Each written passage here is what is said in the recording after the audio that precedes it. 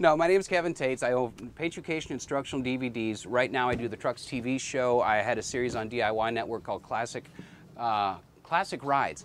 We did iconic American vehicles. We restored a Harley Electra Glide, uh, a, a Airstream trailer, and, and it was a fun learning curve for me because I grew up around muscle cars and trucks, and you know, my dad, my uncles, my cousins, everybody was gearheads in my family, and we were dirt poor. We couldn't buy cars. We had to build them, right? So, you know, you learn through osmosis. You learn by being around people that are as passionate about about this stuff as you are, and I'm sure everybody here is the same. And the fundamentals of, of painting like air delivery, like basic technique with spray guns, like following the rules that the substrates dictate. Um, you gotta, there's two types of adhesion. There's mechanical and there's chemical. That's it. You can't stick anything to anything else without one of those two. So what we're going to be talking about are, are simple basic things like that. I have a classic car here. You can see, you can tell because it's got round headlights. And um, we've carefully masked up the wheel arches, so we're going to do some spray demos today. We're going to be using water-based craft paint.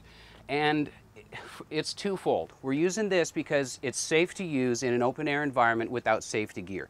Um, I can't talk to you like this with a spray paint because it doesn't, I, you know. So we're using water-based craft paint on cardboard because it sticks and you can see the contrast of what I'm spraying onto the cardboard.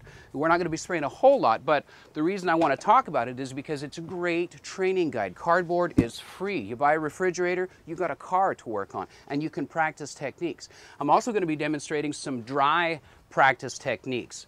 Um, this might look goofy, but trust me, there's, there's a purpose to this. We're going to be talking about air delivery, uh, air delivery systems, minimum requirements for an air compressor large enough to paint an entire car.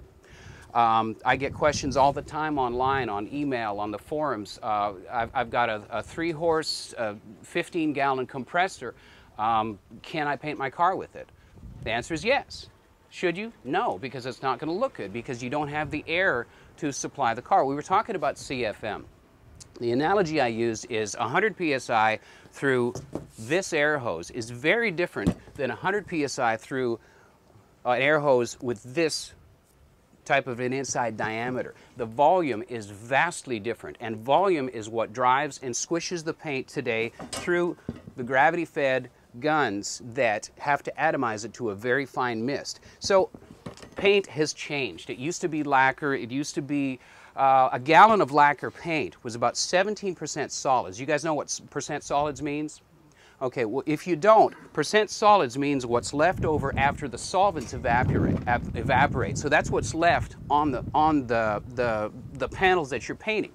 With lacquer, it was 17% solids. Today, we've got paints that are upwards of 60% solids. So that's the difference. Now you've got 60% of what's in that gallon that actually stays with the car. That's your high build polysurfacers. That's your high build you know, your, your, your uh, high solids clear coats. I mean, it's, it's amazingly different and it's better in a lot of ways and it's a, it's a heck of a learning curve in a lot of other ways. So uh, it's a different animal. You got to have that volume, you got to have the CFM. So the basic rules for an air compressor large enough to paint an entire car is a two-stage, five horsepower, preferably cast iron pump with at least a 60 gallon tank because you need that clean, dry air clean, dry air has to happen because obviously you have contamination. Moisture comes through the air, air lines, through the gun, onto the panel. What happens with, with air coming out of an air compressor is that it heats up. So with a large tank like that and a pump that doesn't have to work that hard, your duty cycle is longer, which what that means is that it, it's a longer period of time between how your air compressor has to recharge. So you have your air compressor working less, the air is cooler, there's less moisture in it, so it comes out the end of the paint gun less. So the smaller compressors will continuously deliver enough air to actually get the paint out of the gun, but it's not good air. Nobody wants bad air, right? Baked beans, not good. So um, it has to be good air. So coming out of the gun, clean, dry air is essential. Uh, I don't have the demo here, but we did a live stream, and that's one of the things too. Um, you know, divert a little bit. What Eastwood is doing now, uh, in conjunction, we're doing some from, from my shop in Tennessee. We did a live stream here yesterday afternoon, live video on the internet. It's you know you can call in, you can ask questions. They're about an hour long the presentations, and and it's free to watch. So I know you a lot of you guys came some distance with guys from Jersey here, and guys came a long distance to to not only come and see the the open house and the store, but to uh, to take part in in a seminar. And thank you for that. I appreciate it. And uh, the, the beauty of the internet is that there's things like that available. There's a lot of bad stuff online. There's a lot of bad stuff, but there's some really great stuff too. And thanks to Eastwood, now we're doing live seminars once every month or so. So check on the Eastwood website. Check in for the Times, the Eastwood blog. We're doing a lot of cool stuff there, and it's, it's a neat thing to be a part of. So, air delivery. Um, now we know what kind of an air compressor that we need a lot of guys say, look, I got this compressor, I'm still getting moisture out of the line. My first question is where are your water traps, where is, are your filtering systems in comparison to the air compressor itself? And you get some people to say, well, I've got about a four foot hose and then my three stage desiccant filter system. You know, those are expensive. That's several hundred dollars for a desiccant system. If you don't allow the air to cool, the moisture is still in the air it has to, it has to separate, uh, and that happens when the air cools. Hot air is full of moisture, and if you hammer that through, it'll, it'll completely bypass those filtration systems. So what, what I learned through paint training classes, through having shops, through troubleshooting my own, is that you need at least 20 feet, preferably 50 feet of air hose or line from your compressor before your first filtration system, before your filtration. So you're asking me now, here's my paint area. My air compressor is over here. Where am I going to get 50 feet? I'm not 50 feet away from the car. Here's what you do.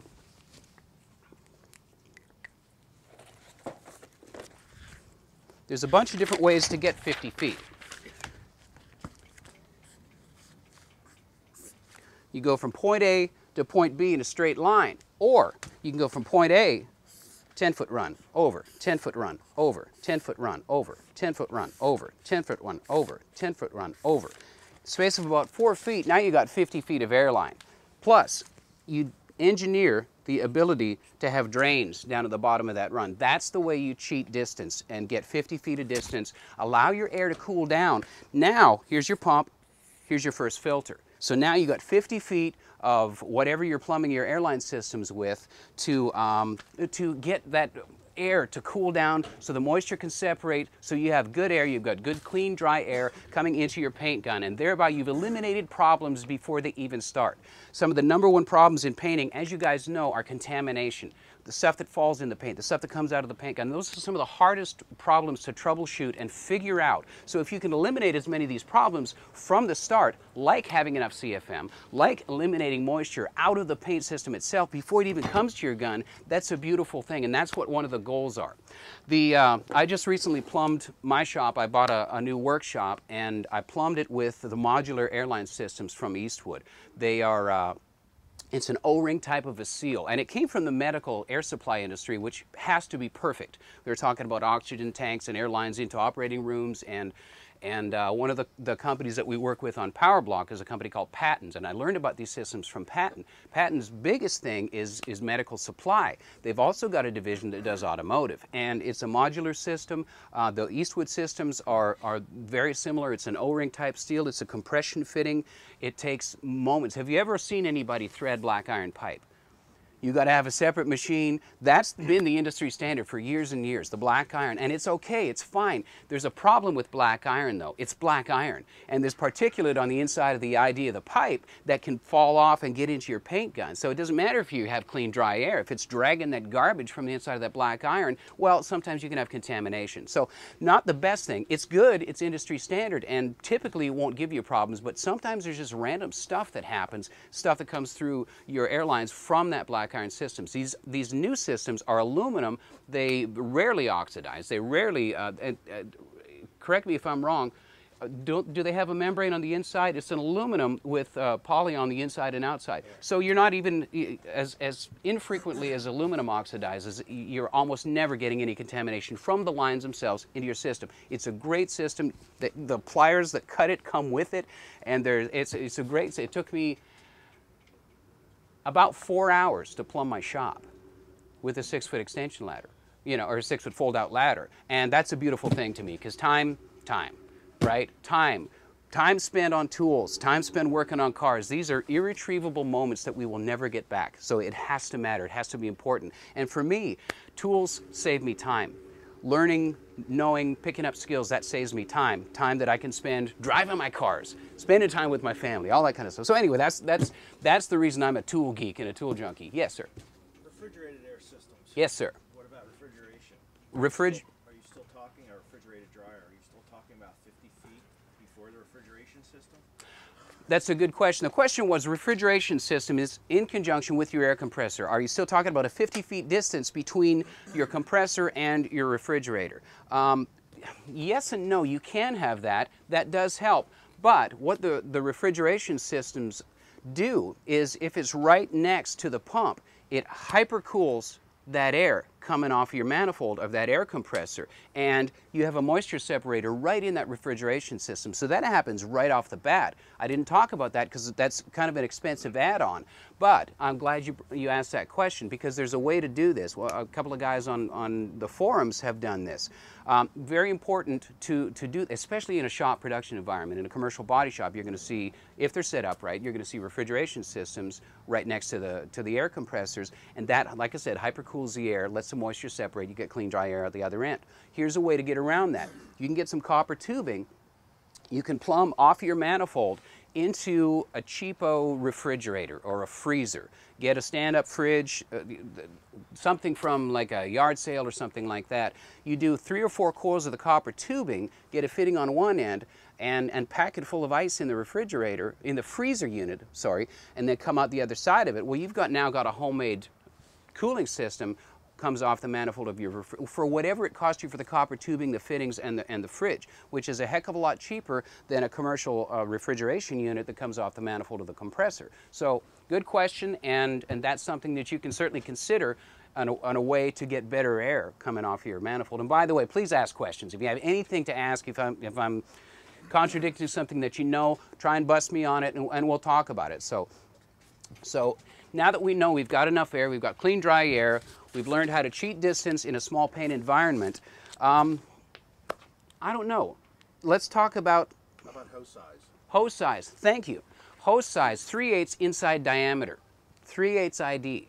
3 8 inside diameter, 3 8 ID. Your quarter inch, your 5 16 hose, not enough air volume to properly feed this guy. Even though this is a low CFM draw paint gun, you still need you still need that volume. And air hose length is important as well. I don't paint with anything longer than a 25 foot air hose. There's guys that have a 100 foot hose, even if it's 3 8 ID, even if your fittings are 3 8 ID, you're going to have what's called line pressure drop. And what that is, is a pressure change from your wall regulator to your outlet, which is your paint gun.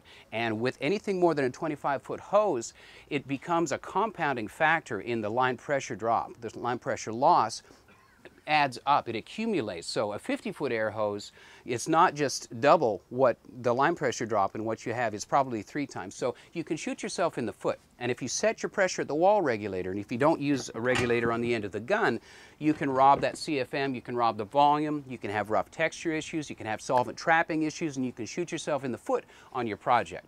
So learn how to use a 20, 25 foot air hose and navigate that around the vehicle. There's ways to do that as well. This is a really good air hose. What is, what is this? Okay. It's an Eastwood air hose. no, but it's nice and flexy. It doesn't bird nest up or anything like that. And I can, I can take it and I can, I can make sure that I can travel around. Okay.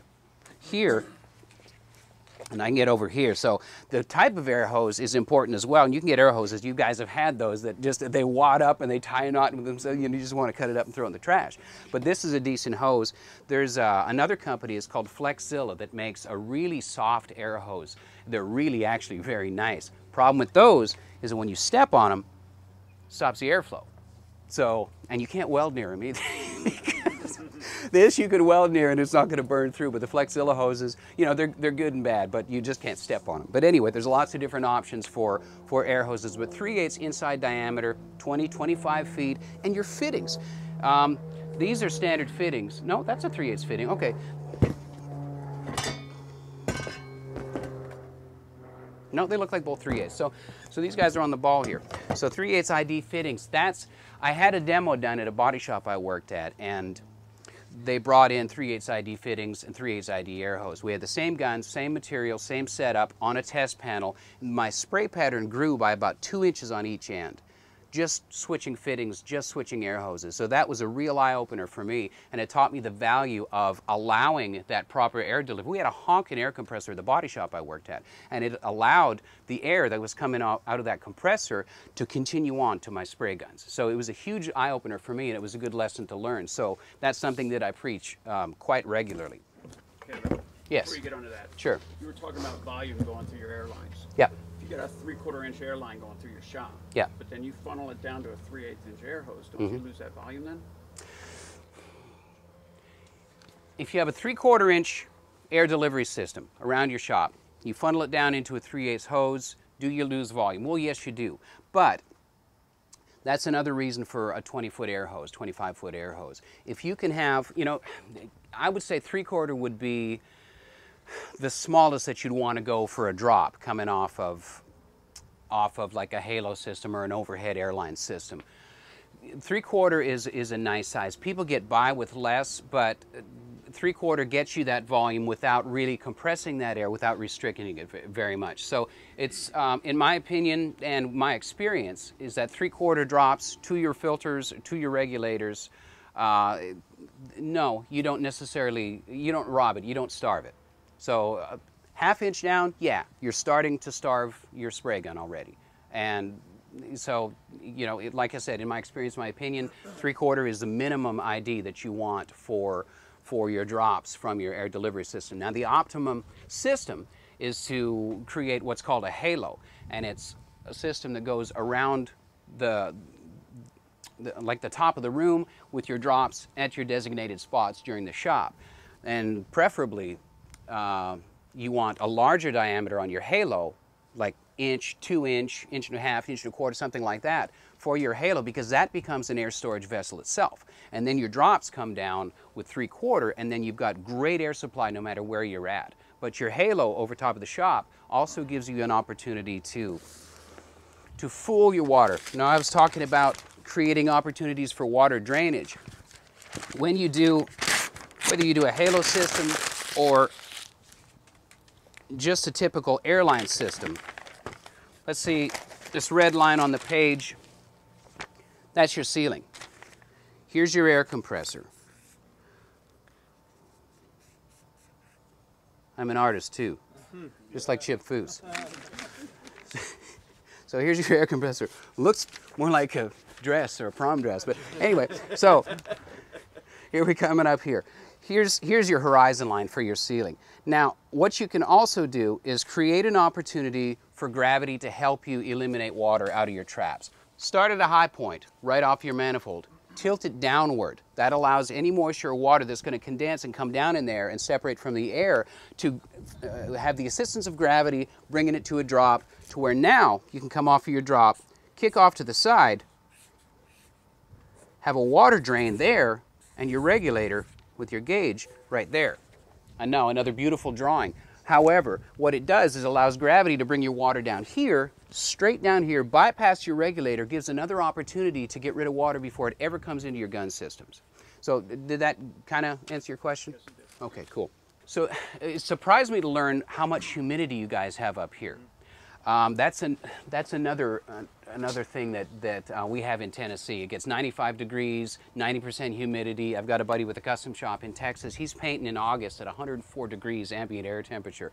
It's that's bad. So that compounds everything that we're talking about with moisture separation and the importance of that in your air delivery system. So up here in the in the summertime when you guys are facing those humidity problems.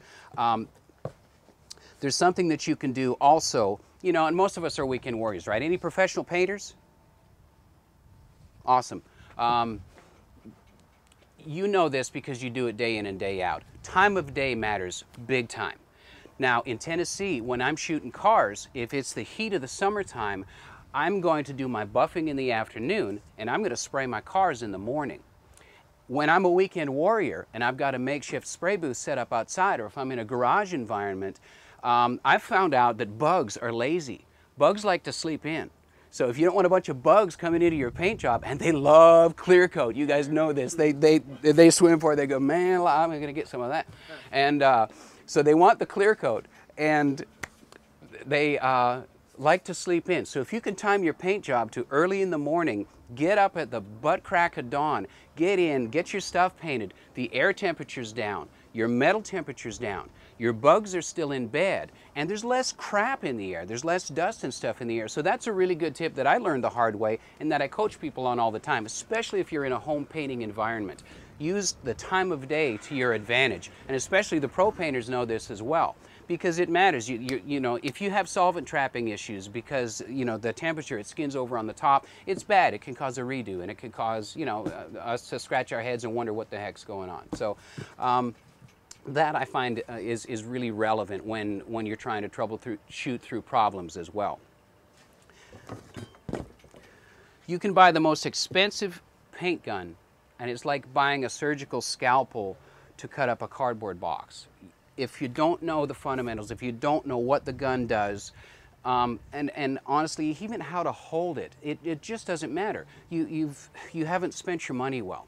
And on, on that note, you can get fantastic results out of a budget spray gun like the Evolution or the Concours here if you know how to use it, if you pay attention to the fundamentals. Um, my, my car, Jaded, the, the 66 Mustang that I built, it debuted at SEMA last year. It's, uh, I'm so uh, honored and privileged that Popular Hot Rodding magazine has done a, a feature shoot for it. It's going to come out, in, I think, in the December issue. And I used all Eastwood paints and materials from the bare metal up. We started talking about this about a year and a half ago, and they said, "Hey, we're getting ready to launch our new paint line." And so we, we had a meeting of the minds, and we said, "Let's do jaded in the Eastwood base coat clear coat system from the bare metal up, epoxies, polys, fillers, all this kind of stuff. Everything that's on that car. It's this car here." They allowed me to name the color. It's called Jaded Green. It's because the car is named Jaded. I guess you could probably figure that out. But it's got all these Eastwood stuff on it. There's tunnel ram gray, the Eastwood hot rod flat clear on it, and uh, the materials were great. I used these spray guns to spray the car too. And I'm proud to say that on the floor at SEMA, where the best hot rods in the world are, we held our own there, you know, and it, it, it, was, I had the help of many good friends and lots of people that are really talented to do the car and to finish the car on time because it was a crazy time frame. However, my point is the Eastwood materials, the Eastwood spray guns, they got me there too. So um, when I say you can spend 700 bucks on a spray gun or you can spend 170 bucks on a spray gun and get the same results, I've done it, I've seen it, it's going to be in popular hot rodding in December. So um, not that I'm all that, I know what I know, and I know it very well. You know, so so the beautiful thing about what we do here is we can pass some of this stuff on.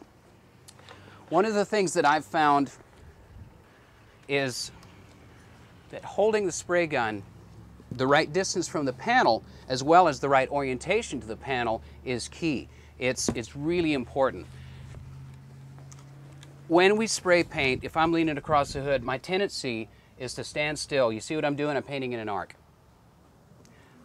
I'm also, I'm lazy, so my spray pattern is goofy.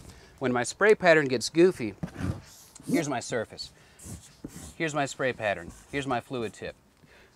What happens when I tilt here, that's perfect orientation. That's 90 degrees. That's perpendicular to the surface. Now when I do this, here's my surface. The cone coming off of the gun doesn't change. So what happens there? I'm really heavy on one side, I'm really light on one side. I get tiger striping, I get an inconsistent coating, I get an inconsistent surface.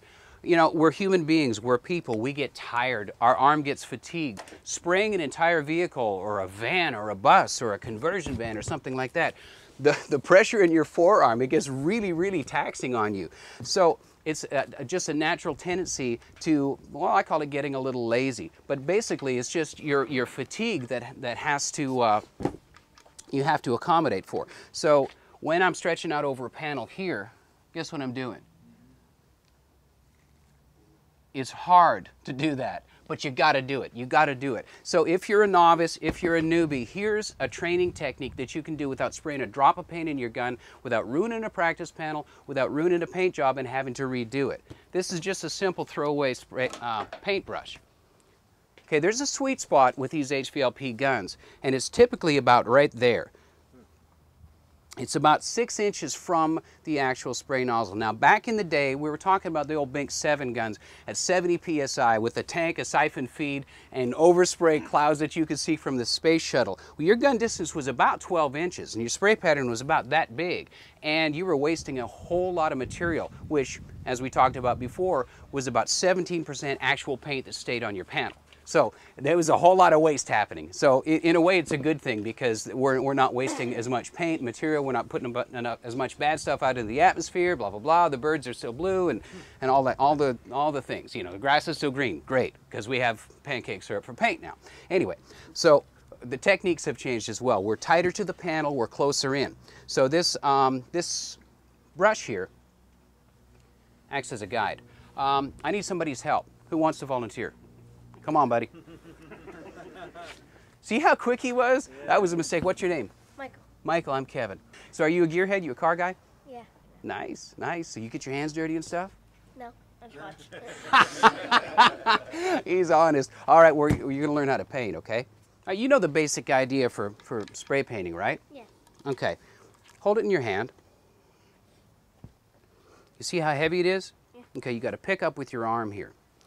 Now, what I'm talking about, okay, stand with me over here. Need a shorter car. We need a shorter car. hey, I'm, I'm altitude challenged. I'm not short. So he's, he's, he's going to grow out of it, but I never will. So here's what I want you to do. Okay, this is comfortable, right? Okay, put your hands to your side. Okay, stand beside me. All right, with your feet just slightly apart. Actually, let's do the opposite. Put your feet together. And try and move like this. You feel like you're going to fall over, right? Yeah. All right, now, feet apart, about shoulder width. Now what can you do? Now you can go all over the place. And I'm not going to knock you over, right? I could, but I won't, right? Because he's a good kid. Anyway, so so that's rule number one, okay? And to keep your shoulders. What I call this is a comfort zone because you're comfortable, right? So now when I'm painting, I'm relaxed here, my feet are slightly apart, and I'm in a comfort zone. I'm comfortable. So when I'm painting, I want to be comfortable because the last thing I want to think about is my arm is sore uh, and, and the panel. When, have you ever hammered a nail? Yeah. What are you looking at when you hammer a nail? You're looking at the hammer, you're looking at the nail. Looking at the nail. Yes, sir. He's a smart man. You're looking at the nail. When you're spray painting, you're looking at the panel. You're not paying attention to the gun. You've already set the gun up. So you're looking at your panel and you're painting like this and you're watching the paint as it goes down. If you're looking at the gun, you're missing the boat because you're not paying attention to your gun distance. So this guy's going to be a great painter one day. So grab that in your hand, stand right in about in the middle. Now, when you hold your arm out, it's going to get heavy, but here's what you want to do. You want your paint gun straight up and down. You see where that, that paint's going to travel? That's what you want. Now, try and follow this tape line. Go to that side this side. Okay? Now, remember what I told you about moving side to side? Now move at your hips and then this way. Okay, see what's happening with that paint gun? It's staying in exactly the same place, right? It's not sweeping. You're not arcing like that, which is going to make a messy pattern there. You want to follow that tape line. So when you move your hips and that spray gun with you, you can keep it perpendicular. You can keep it in the right orientation. So lesson number one, Move with your hips. Spray paint like that. Try and keep your arm what you want to envision. Have you ever seen those videos of the robots that paint cars? Yeah. That robot doesn't, his wrist doesn't get tired, does it? that head with that puts the paint out onto the car is going to stay in the same place all the time. It's programmed to do it, just like a computer. It is a computer with a thing that pulls the trigger. So what you want to have in your brain is that you're that robot. You don't move. You keep your orientation, you keep it perpendicular. Now, one of the things that I noticed, tell me your name again? Michael. Michael has a little bit of a problem with the gun kind of falling down because it's, it's heavy. It's extended out here. You fill that with a quart of paint and it becomes even more so. So what we want to do is keep that gun the perfect distance. So I'm going to give you a different gun. Let's trade. Michael's saying to himself, this is spray painting, not brush painting. What are we doing here? Uh-huh. Okay, here's what you want to do, Michael. Keep those bristles from touching the surface. Okay, now, like I said, use your hips, follow that tape line. See how hard it is to keep that perfect? Yeah. It, it, you got to really focus on it, don't you? Okay, but that's what you want to do. You're doing great, by the way.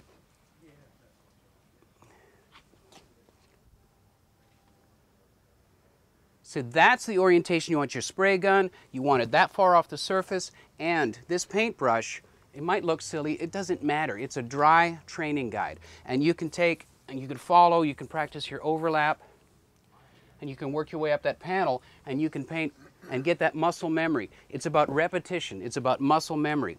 It's when this how old are you? Um, 11. You're 11. Okay. 5 years you're going to be driving. Which kind of scares me. But when are you his dad?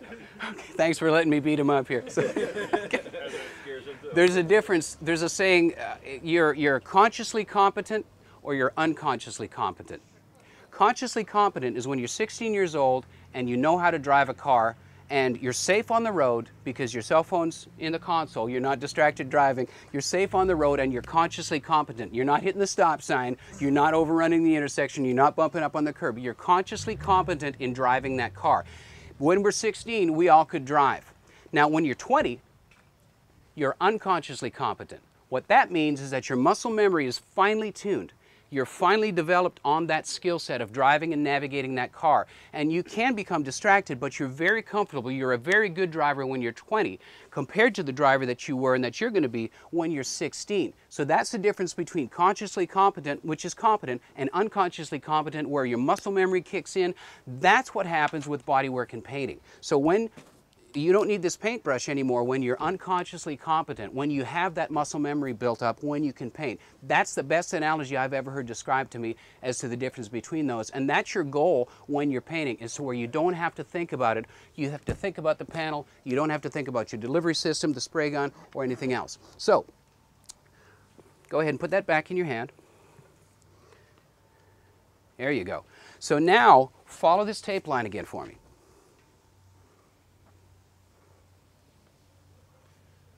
Okay, you're starting to do it a little bit, but I'm gonna, I'm gonna hold your arm.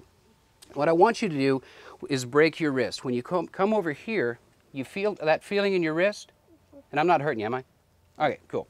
When you come over here, your wrist breaks. So it's a conscious change in your wrist. And it's a, it's a distinct feeling that you have. It feels very different when you, when you break your wrist off like that. But it's very important to keep that spray pattern Uh, completely perfect on the panel. Now, we're going to talk about overlap. Everybody knows what overlap is. You're building a coat in stages. You're a stripe here, 50% overlap, 50% overlap, 50% overlap, and you work your way through the panel and do that. So now what we're going to do, Michael, we're going to start here. Okay, go from this side to this side. Okay, work with your hips. Remember your lessons. Okay, so we're going to do once. Start from this side, work over to this side and stop. Okay, now move your, your brush up to here. Okay, now go to the other side and stop. Move your brush half the distance and then come over to this side. Okay, now move up half the distance again and come over to the, the other side. So now he's traveling. Now he's using overlap, he's using perfect spray gun technique, and he's working with his body, he's breaking his wrist, he's in his comfort zone, he's working like the Karate Kid, he's working the panel, and now I wouldn't be afraid to hand you a paint gun and have you practice on a panel. So give Michael a big hand. He's a good student.